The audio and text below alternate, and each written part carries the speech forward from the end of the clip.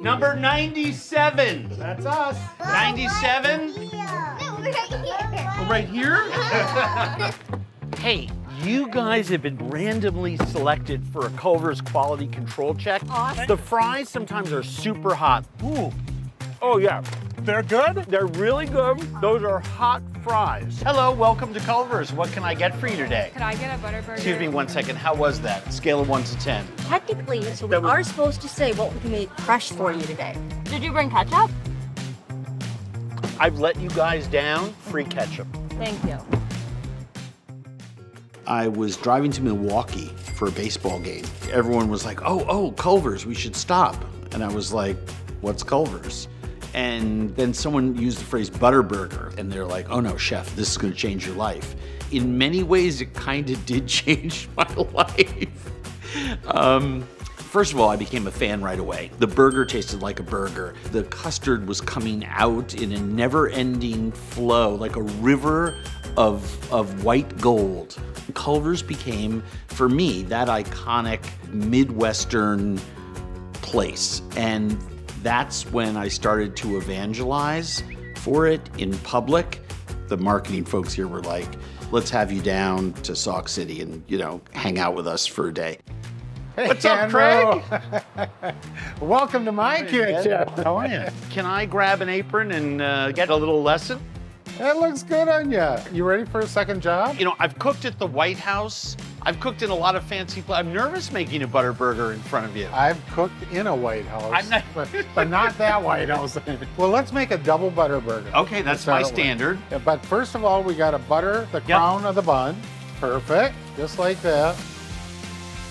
That smell is intoxicating. I mean, you use really good beef. You can smell the difference in this hamburger before you even bite into it. And that seared crust. I mean, that's. Yep, that's where you get that steaky flavor. I mean, look at that. That is butter burger heaven right there. Looks good. If it looks good, eat it. Someone right. famous once said that. I thought that was very funny. Mm. Can't stop, won't stop.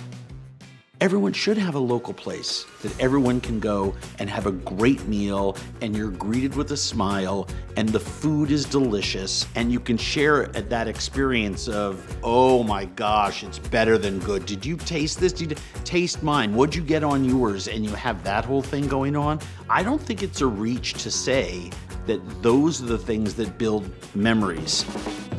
Who's having the chocolate with the cookie dough? I'll take that one. Thank you. Okay, bring it in, bring it in. Cheers. How many Culver's custards a day should kids across America be eating for optimum health? What do you think?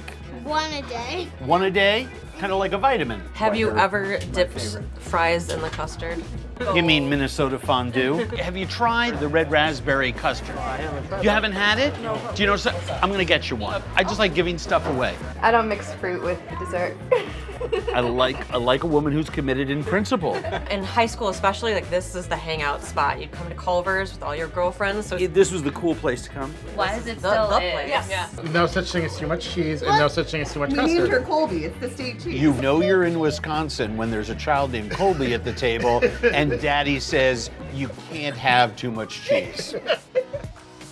So a lot of people think about Culver's as as a restaurant, and it is, and they think about it as a brand, and I guess technically it is. But what I've learned today is that Culver's is about a lot more than that. It's about family, it's about tradition, it's about community, it's about the love of custard, it's about gathering in a place where you can share time with friends. It's about having an experience and not just a meal, and it's about respect and love for one another. All of it delivered from Wisconsin with love.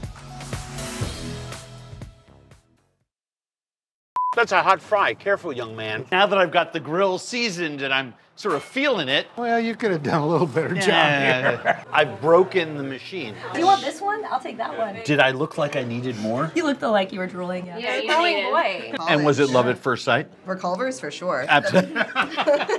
I took a little bit longer. but it was very soon right after. Now you're making me cry. You see that? Okay.